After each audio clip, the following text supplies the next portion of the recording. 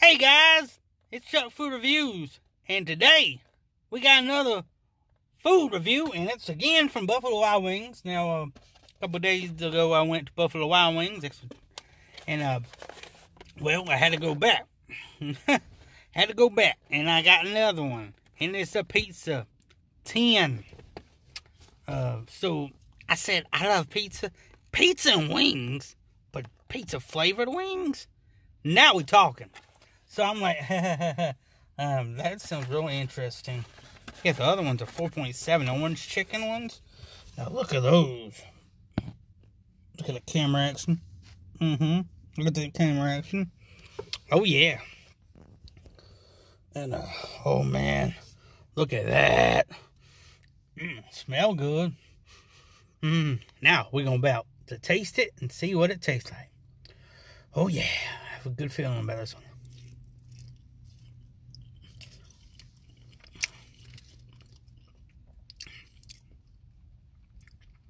Whoa!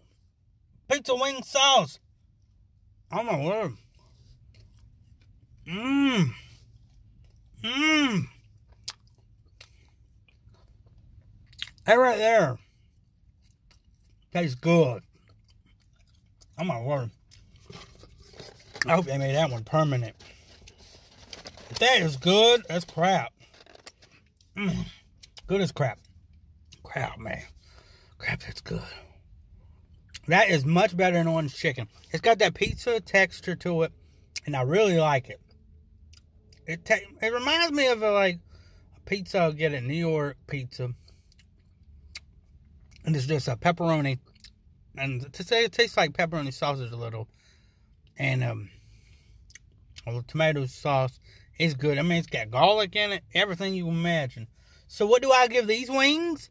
Boneless wings. I'm gonna give these 4.9 out of 5. Almost a perfect one.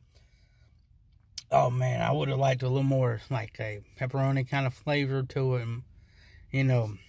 But it definitely tastes like what it says. It's much better than other ones, so I highly recommend these. Remember to like, comment, subscribe, hit that notification bell, and stay tuned for more Chuck Food reviews. Oh yeah, and album reviews. Woo! Thanks for watching Chuck Food.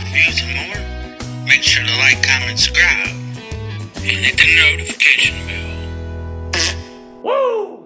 Oh, oh hell! Oh!